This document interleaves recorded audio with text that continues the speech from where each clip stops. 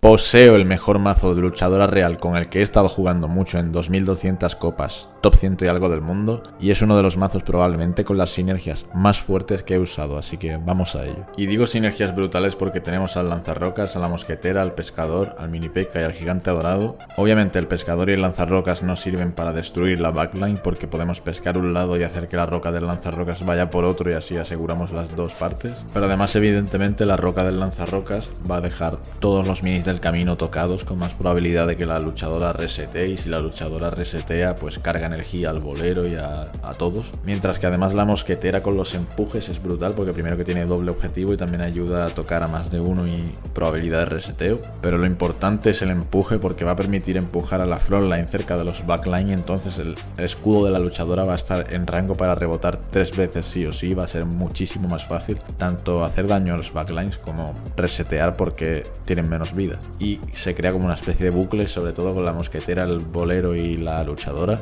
Brutal, es brutal la luchadora para dar energía. Pero bueno, en este caso en segunda ronda casi siempre vamos a querer buscar las dos estrellas y en este caso tengo un bolero porque sé que el rey bárbaro siempre va a llevar arquera o algo muy frágil y lo pongo en el espejo pero el juego me lo cambia solo por la cara. Igualmente el recolector estaba puesto para que el minero no disipara nada y aún así ha funcionado pero igualmente no va a servir de nada porque yo solo tenía un gigante dorado y él ya ha sacado al arquero y ha tardado mucho en morir, pero es perfecto porque el tiempo que hemos tenido el recolector ha dado 3 de elixir, que es lo mejor para este mazo porque todos los minis son de 3 de elixir. Así que voy a sacar un mini peca para el minero, voy a volver a poner al bolero en el espejo y el mini peca se va a quedar encerrado esperando al minero. Pienso en terminar de maxear al bolero, pero esos 2 segundos de stun no me van a servir de mucho porque yo creo que el doble bolero va a matar a algo sí o sí, con tanto daño, así que más stun no iba a servir de nada. Y voy a preferir sacar mosquetera con doble objetivo y vamos a empezar a ver cómo empuja la mosquetera para que la luchadora tenga más rango el escudo. Y voy muy por delante para no arriesgar al minero por el otro lado y el gigante un poco desviado para evitar el arquero mágico. Pero lo vuelve a poner por el lado de mi espejo, así que el mini peca lo va a esperar y ese doble bolero se hace la arquera del tirón. Lo malo es que reflejó al arquero y como la arquera baiteó las rocas del lanzarrocas, mi luchadora muere muy rápido, pero igualmente tira un escudo que consigue cargar energía justo antes de morir. Por lo que los dos lanzarrocas volvieron a tirar ulti y terminamos con los arqueros en los espejos y mi mosquetera gana por poco. Aunque ahora no tengo elixir extra porque me reventó el recolector súper súper rápido y decido mejorar la mosquetera, priorizo la habilidad Clash porque es buenísima para que el primer escudo ya pueda hacer daño a la backline, pero al final decido maxearla igualmente. Es un setup muy arriesgado teniendo en cuenta lo rápido que ha muerto antes mi luchadora, pero con todo el daño inicial de la clase del bolero, la clase de la mosquetera y el primer escudo de la luchadora podemos llegar a ganar. Y desde el principio vamos a ver que después de la doble roca del bolero lo único que queda importante es el rey bárbaro y el arquero mágico y gracias al stun de la mosquetera hemos empujado al rey bárbaro y el escudo de la luchadora del arquero. Esa última roca antes de morir le pega al arquero dejándolo uno de vida y tira a la luchadora a otro escudo y aunque el rey está con la inmunidad, el arquero ya está fuera y acabamos ganando. Ahora vamos contra un rey esqueleto con fantasma y habilidades class, que es un mazo que sigue dominando mucho y el gigante dorado nos va a ayudar mucho más en este caso. Y pienso que si tiene habilidades class lo más probable es que fuera por el clon, así que pongo el bolero simplemente para mover el clon hacia el otro lado y que la doble luchadora pueda hacer algo. Pero decide ir a por el espejo original, así que me empuja al gigante dorado que no le va a servir de mucho porque las dos luchadoras siguen vivas y no están aisladas. Y encima el gigante ha tanqueado al minero, así que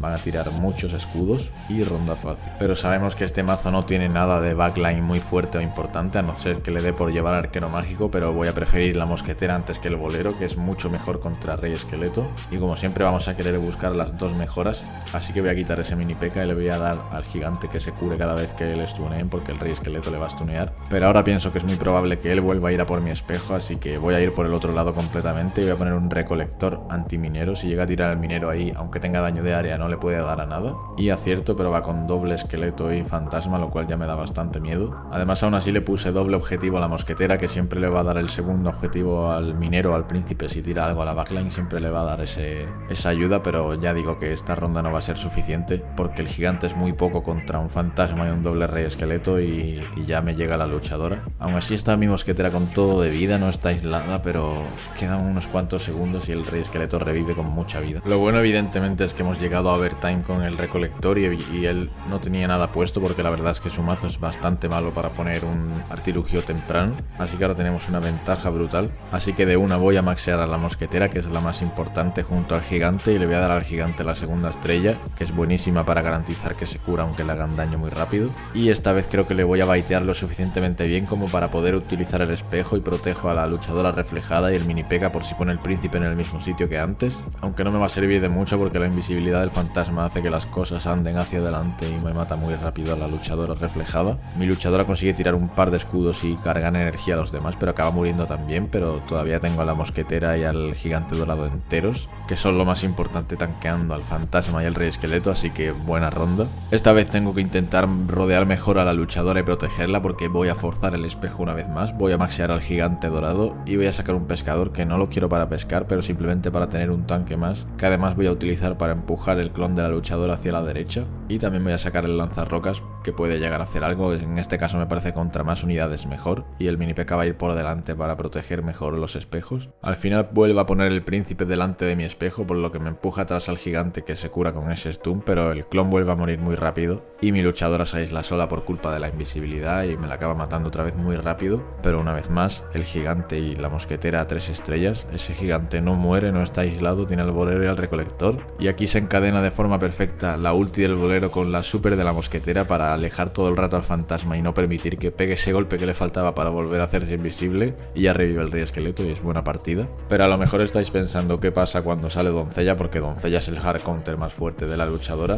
así que vamos con una partida, empezamos con mini peca disipación que es la prioridad absoluta al mini peca y tenemos la suerte de estar en el mapa de revivir que le puede dar una segunda oportunidad a mi luchadora cuando se refleje un escudo, pero cabe decir que por ejemplo la semana pasada este mazo era bastante mejor en este caso porque había sauna y con la sauna puedes tirar al mini peca que muera y entonces la doncella sí que no tiene nada que hacer contra un mini peca maxeado a, la sauna, por lo que depende siempre de la rotación de artilugios un poco, igualmente con esta rotación que es bastante neutral está bien, ya digo que con una mosquetera al máximo y un mini peca al máximo se puede ganar si se juega bien, así que aquí ya saco una mosquetera y las dos estrellas del mini peca para poner un puncho, que es bastante bueno también en este caso porque igual que hemos explicado antes que la mosquetera empuja y ayuda a la luchadora a que el escudo rebote más fácil, pues con el mucho puncho pasa lo mismo porque empuja para atrás lo que sea, aunque en este caso no empuja tanto porque él está poniendo el mago muy cerca y lo pone justo detrás de donde yo puse el puncho, aunque sirve igualmente para stunear mucho más ayudando a la mosquetera ya que tiene una frontline con muchísima vida y si no fuera por esos stuns se harían bastante inmortales y encima la doncella no va a llegar a tirar super porque el mini P.K. ha sido perfecto y ha ido directo a por ella. Y en este caso voy a terminar de maxear al mini P.K. que además esta última mejora que es la de 100% críticos y está aturdido es muy buena en el mazo porque va todo de stuns. Y a la mosquetera priorizo darle el stun largo en este caso porque pienso que me puede ayudar más ya sea le dé a la doncella o la curandera dejarlo más tiempo stuneado que stunear a dos a la vez con un stun muy corto porque además los stuns cortos benefician mucho a la doncella porque carga energía y tira la super. Si stuneas a la doncella tienen que ser los stuns más largos posibles para que tarde más en tirar la super, pero él aquí lo hace muy bien sacrificando al mega caballero que pilla mi mosquetera y mi mini peca inutilizando a los dos durante un tiempo porque necesito darle tanto a la doncella como a la curandera y la doncella le rebota un escudo y se acerca al mucho puncho por lo que ya activa super y el lanzadardos al fondo me destroza. Así que a pesar de que la mosquetera es muy importante, en esta ronda la voy a tener que quitar porque tengo que matar a ese lanzadardos y el bolero también da un buen stun, así que tengo que cambiarla, pero además también saco un pescador porque como ya he dicho, pescador más bolero va a aumentar mucho la probabilidad de matar a ese lanzadardos y lo que le doy al bolero es tanto la clase como el daño ampliado para matar rápido a ese lanzadardos y esta vez pongo a revivir al mini peca para que dure más en caso de que no disipa el que toca y acabe matándolo, que reviva y pueda disipar. Pongo el pescador donde tenía ante el lanzadardos porque pienso que no se se lo espera, pero al final lo mueve una para el lado para sacar a la curandera con lanza, que también está bien pescarla. Así que la roca va al lanzadardos y la siguiente lo va a matar y encima el mini peca ha disipado a la curandera, permitiendo que no cure y que la luchadora resete. Al final la doncella ha activado escudo, pero está muy cerca del lanzadardos y ese escudo va a resetear. Y el siguiente también va a resetear con el mago a 1 de vida y esto es partida, la doncella ya está fuera. Creo que este debe ser el mazo más satisfactorio que he jugado nunca, así que si te ha gustado suscríbete, que eso ha sido todo.